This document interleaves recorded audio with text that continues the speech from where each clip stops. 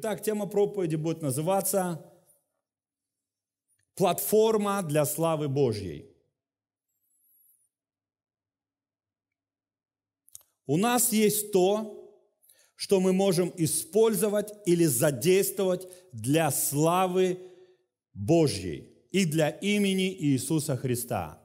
У нас есть ресурсы. У любого человека есть ресурсы. Я вам приведу простой пример. Человек, в котором жил легион демонов, бесов. Легион – это примерно 6 тысяч. Это название э, римское. Вот, это означает 6 тысяч солдат, вооруженных, профессиональных.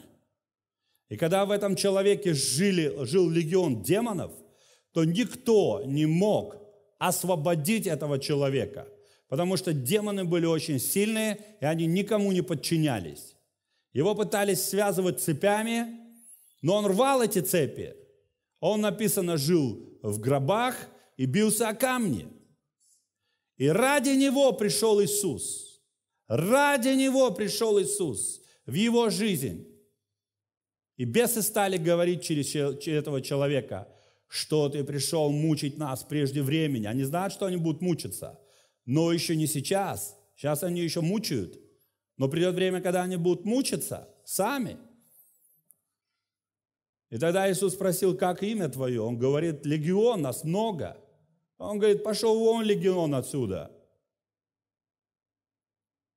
И они говорят, Господи, не выгоняй просто так нас на улицу, дай нам другое место жительства. Он говорит, ну ладно, идите вот туда вот. И они вошли в свиней. Почему-то выбрали свиней.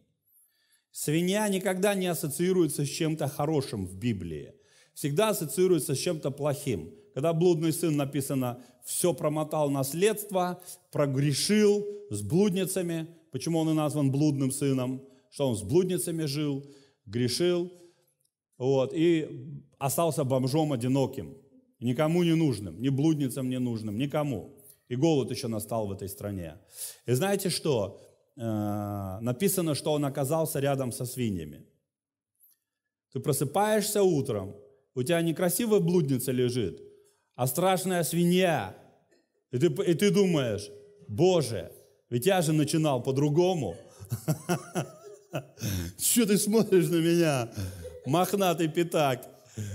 Почему ты такая грязная? А свинья ему, так мы же с тобой здесь вместе лежим. Написано, что он со свиньями оказался. Свиньи – это что-то нехорошее. Кстати, это ждет всех, кто грешит. Свиньи ждут вас, поверьте. И люди очень легко превращаются в свиньи. Знаете, есть такой маскарад. Стоит человеку напиться, и он свиньей становится, орет, блюет, и так далее. Итак, о чем, почему я говорил об этом одержимом человеке? Неспроста. Смотрите, когда Иисус изгнал из него бесов, он стал абсолютно нормальным человеком адекватным, абсолютно трезвым человеком. Больше демоны не говорили ни через него, они не могли войти туда, за него заступился Иисус. Все, решено. И смотрите, какая реакция этого человека. Он говорит, Господи, позволь мне быть с тобой, идти за тобою. Позволь мне идти за тобой, мне некуда, у меня нету жилья, у меня нету дома. Ты мою жизнь спас, ты все для меня, что мне делать, куда мне идти, я не знаю. А Иисус говорит, нет, иди и проповедуй Евангелие. Иди и расскажи, что сотворил с тобой Господь. И представляете, он не учился в библейской школе, он не читал Нового Завета 100%, потому что его не было во времена Иисуса. Нового Завета не было. То, что мы читаем сегодня, четыре Евангелия и книги там, знаете, послания, не было. Был только Тора, только это самое, Старый Завет. И он, думаете, читал его? Он его тоже не читал. Все, что он имел в своей жизни, все, что он имел, он даже одежду не имел, он был голый. Понимаете, его одели. Все, что теперь он имеет, это имеет прикосновение Иисуса. Это свободу, которую он получил от Иисуса. Больше он ничего не имеет. Ничего. Ни денег, ни часов, ни телефона, ни паспорта, ничего. Он одержимый человек. Его боялись все, обходили. И несмотря на это, он пошел в 10 городов и проповедовал им об Иисусе. Что сотворил с ним Иисус? Аллилуйя! О чем это говорит? Платформа для славы Божьей. В его жизни он использовал тот ресурс, который он имел. Он использовал для того, чтобы Бог был прославлен. Нам даны ресурсы и свобода использовать их, как захотим. Нам дана полная свобода использовать те ресурсы, наше здоровье, наше время, все, все имущество, использовать как мы захотим. Бог хочет посмотреть, дав свободу выбора, что человек сделает со временем, которое ему дано, с деньгами, которые ему дано, с властью, которая ему дана. Что он с этим сделает? То, что у нас есть, то, чем мы имеем, владеем, это и есть платформа, на которой мы можем прославить Бога и сделать Его имя известным. Люди могут узнать это спасительное имя, и они могут получить спасение. В принципе, они должны получить спасение. Никто не должен быть забыт, никто не должен быть потерян, никто. И сейчас я послушайте внимательно. Братья и сестры, люди, которые смотрят, послушайте, не думайте, что это слово к соседу, это слово лично к тебе. У многих есть социальные сети. Facebook, Контакт, Инстаграм, Шмантаграм, у кого-то даже пентаграмм, может быть, есть. Но они молчат о Христе. Молчат. Если лайкают, никогда не проповедь. Ерунду лайкают. Понимаете? Котика, собачку, бутерброд, закат какой-нибудь. У многих есть деньги, но они не тратят их на Бога, на Божье дело. Не тратят. У многих есть время, время, но они его используют на что угодно, только не на Бога и не на, на служение Богу. У многих есть здоровье, братья и сестры, но они живут для себя. У многих есть красивая внешность, но она прославляет только их самих. Почему? большой такой вопрос. Иногда мы говорим, церковь не растет такая маленькая. Что ты сделал для роста церкви? Ты у себя в Фейсбуке поставил трансляцию вот хотя бы этой проповеди? Постав... Нет, почему ты не поставил? Ты хочешь, чтобы церковь была большая, чтобы люди приходили. Кто знает об этом? Почему ты не можешь рассказать? Почему ты стесняешься? Почему ты стесняешься говорить об Иисусе? Братья и сестры, такой вот большой вопрос, такой, с жирной точкой. Почему? Потому что проблема в первой заповеди. Проблема в первой заповеди. Матфея 22, 37. Иисус сказал ему, возлюби Господа Бога твоего всем сердцем твоим и всею душою твоею, и всем разумением твоим.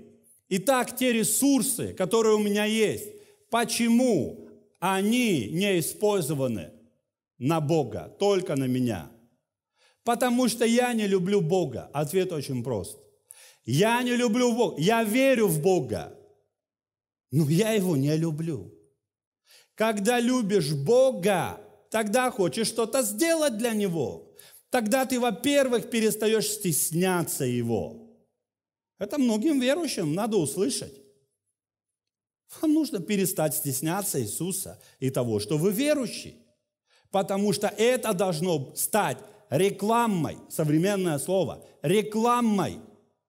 Понимаете? Как об Иисусе узнавали люди и как за ним ходили толпы. Откуда? Они вообще не знали, что есть Иисус. Они вообще ничего не знали. Потому что работало сарафанное радио. Всем знакомо, что такое сарафанное радио? Это когда человек рассказывает человеку. Женщина говорит соседке, соседка дальше и тому подобное. И вот так друг другу рассказывают, что есть Иисус, который реально помогает. А сколько стоит? Ничего не стоит. И люди бегут туда, бегут, бросают, бегут, потому что у них проблемы. Надо избавляться от проблем. И люди получают свободу. В каждой из трех сфер – дух, душа и тело – должна проявляться любовь. Нам дано тело для чего? Чтобы просто впихивать туда еду, кофе, вкуснятину всякую, деликатесы, чтобы его потом греть на солнышке.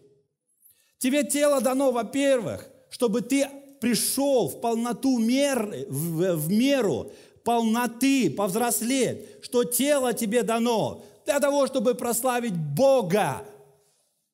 А душа мне дано. Для чего? Прославить Бога, возлюбить Его. А для чего мне дух дан? Сердце. Чтобы любить Бога, чтобы прославить Бога. Послушайте, я понимаю, что мы все на разных уровнях. Но я не понимаю одного. Когда верующие по 20-30 лет или по несколько лет в Боге, и они не понимают этого, не меняются в этом. Они верят, они ждут, они думают, что они хорошие христиане. Но все, что у них есть, оно не задействовано для Бога. Им жалко деньги, им жалко время потратить. Понимаете? Почему многие люди дома сидят? Им жалко прийти. Это столько времени надо будет потратить. Мотивом каждого верующего это должна стать любовь Бога. Любовь Бога. Если верующий не знает Бога, он никогда его не будет любить. Он его будет бояться. Он будет надеяться, что Бог хороший поможет ему. Что Боженька спасет его потом, когда он умрет. Но послушай, как ты живешь на земле? Конечно, Бог всех любит. Он любит жадных, он любит скупых, он любит гордецов, то есть он гордость ненавидит, но, таких, но людей он всех любит. Понимаете? Но он нам дал жизнь, чтобы мы исправились. Послушайте, мы в жизни совершили и совершаем ошибки. Мы их совершаем. Но нам дан Дух Святой, как вот эта сигнализация внутри. Понимаете? Страх Божий что ты что-то делаешь неправильно, либо ты что-то не делаешь вообще, то, что бы должен делать. знаете, что дети претендуют на время родителей, на деньги родителей, на ласку родителей, на все, что есть у родителей, дети претендуют. Это естественно. А вы знаете, что отцы тоже претендуют на своих людей, детей, что те будут тоже их любить, тоже будут уделять время. Мы претендуем и говорим, Бог, Слово Твое говорит, что Ты мне должен то и то и третье. Кто-то начинает выкручивать Богу руки местописаниями. Он выделил все местописания, где Бог обещал что-то, приходит и стоит в проломе. Бог, ты обещал, Бог, ты обещал. А Бог тебе говорит, а ты ничего не обещал мне. Ты ничего не обещал, ты посмотри, что ты должен тоже что-то делать для Бога. Время твое. У тебя телефон из рук не выходит. У тебя, когда есть свободная минута, ты берешь в руки телефон. А Бог там есть в этом телефоне. И я думаю, что вы, наверное, Библию там читаете. Каждую минуту вы залазите и читаете Библию. Или как? Или ерунду смотрите. Вы проводите праздно свою жизнь. Вы проводите праздно свое время. Вы тратите ее. Вопрос теперь, на какое пробуждение вы рассчитываете? На какое восхищение вы рассчитываете? Что мешает человеку использовать свою платформу? Послушай, твой голос – это платформа, где Бог может быть прославлен. Твоя работа, где ты работаешь, это платформа, где они все могут узнать о Христе. Твоя школа, твои друзья, твои подруги. Я говорил уже, соцсети, пожалуйста. Кого ты не видишь, кто за границей. Но ты можешь всем сообщить радостную весть об Иисусе. Послушай, ты можешь это сделать. Ты можешь теперь покаяться, и тебе надо покаяться, поверь. Поверь, ты стесняешься. Ты стесняешься своей церкви. Ты стесняешься даже вот этих проповедей, которые здесь звучат. Вот сейчас идет трансляция на телефон. То есть мы задействуем то, что у нас есть. Мы не ждем, что кто-то нам что-то принесет. Мы используем свои деньги. Свои деньги мы используем, вкладываем в служение. Мы оплачиваем телевидение на свои деньги, чтобы люди смотрели. И мы не просим деньги у людей. Мы просто рассчитываем, что у людей есть совесть. Они будут приносить десятины и приношения. Но послушайте, у всех, знаете, я, я увидел, что есть э, разная совесть у христиан. Есть э, люди с совестью Нового Завета и люди с совестью Старого Завета. Как бы они себя так поделили. И они говорят, Новый Завет освобождает меня от десятины. В Новом Завете мне не надо платить десятину. В Новом Завете я вообще ничего не должен Богу. Бог для меня все сделал. Я просто должен жить. Не заблудился ли ты вдруг? Куда ты уйдешь такими своими мыслями? Не дьявол ли тебе их нашептал? Твоя платформа. Послушай, Бог-то тебе ее дал. Но что ты с ней сделал? Бог дал тебе молодость. Что ты с ней сделал? Просто просидел в телефоне? посмотрел, как другие где-то что-то делают, ты провел свою молодость, послушай, ты потом придешь в средние лета. Я что, что будет вспомнить о твоей молодости? Где ты был, что ты делал, кому ты помог? Кто-то вспоминает и даже не хочет вспоминать свою молодость, потому что он так страшно грешил, он так страшно загубил жизни многим людям. Послушайте, нам даны ресурсы – нам даны они. Если вот этому одержимому даны были ресурсы, Иисус ему говорит, нет, не надо со мной идти, от тебя будет больше пользы, если ты пойдешь и просто расскажешь. И он сразу пошел, послушно, использовал платформу, которую он имел. А что он имел? Он одежды даже не имел. У него репутации не было. Это был одержимый человек. Извините, кто хочет слышать одержимого? Его, если там увидели, все убегали сразу. И несмотря на это, он пошел и в Десятиградии проповедовал.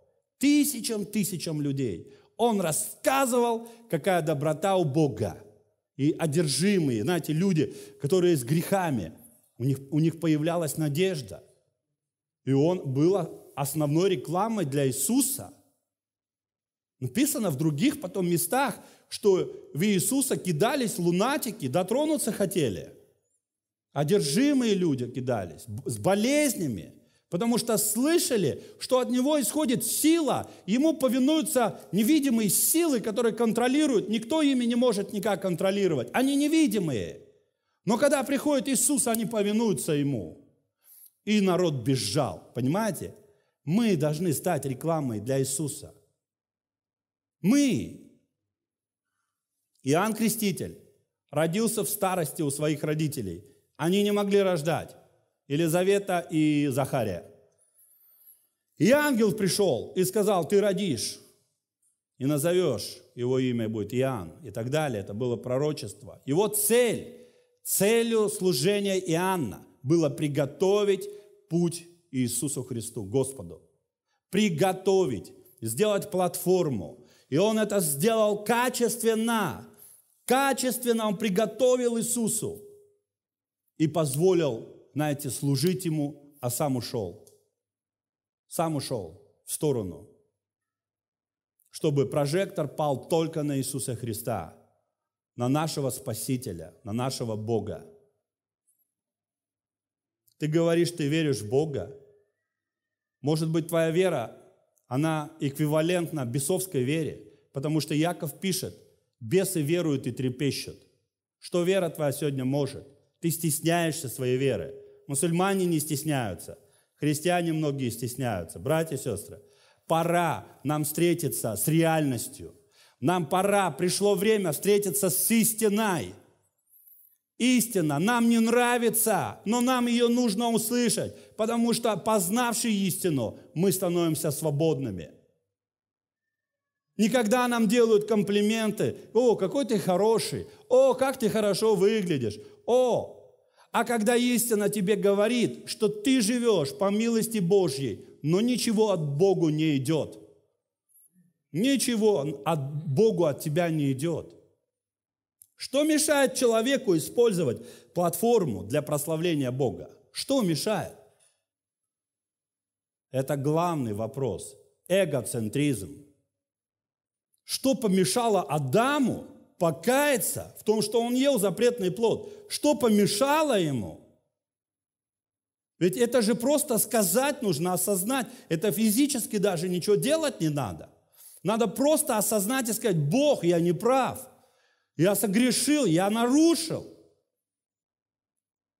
Я повел себя гордо. Я подумал, что я могу жить без тебя, принимать решения без тебя и умнее, я посчитал себя умнее тебя. Знаешь, когда тебе говорят, не делай это, потому что это плохо, и у тебя могут быть проблемы. А ты берешь и делаешь, бац, проблемы. Но ты понимаешь, и ты не хочешь осознавать, что ты сглупил. Ты просто не послушался совета. Но послушайте, Адам даже в этой экстренной ситуации, когда уже Бог пришел, и Бог не пришел разбираться, Бог пришел встречаться, но Адама там не оказалось. Потому что эгоцентризм, он всегда прячется, он не хочет света, он не хочет к Богу, он не хочет.